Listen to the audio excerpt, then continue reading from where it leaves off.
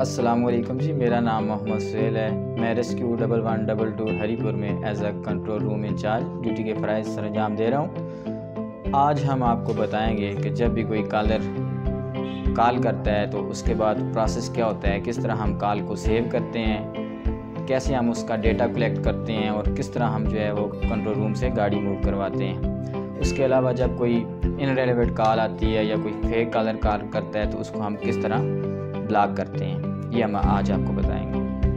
Control room में हमारे पास। ये जो छः सिस्टम हैं, इनमें से तीन पर हम कॉल रिसीव करते हैं। ये हमारे पास टेलीकॉम सर्वर है और ये हमारे पास है जी मेन डेटाबेस सर्वर और ये है डिस्पैचर। ये तीनों सिस्टम की जो स्क्रीन है, वो वाइट है।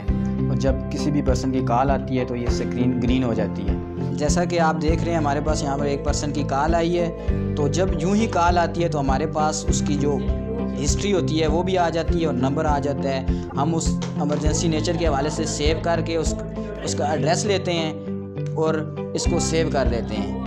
और अगर हमारे पास कोई इन रेलवेड कॉल आती है तो हम उसको तीन चांस देते हैं। और अगर चौथी दफ़ा भी वो बाज नहीं आता तो हम उसको यहाँ पर ब्लॉक कर देते हैं। दोबारा उसकी कॉल नहीं आती। अगर कोई भी इमरजेंसी होती है तो फिर वो उसका नंबर ब्लॉक होता है और कॉल नहीं आएगी उसकी।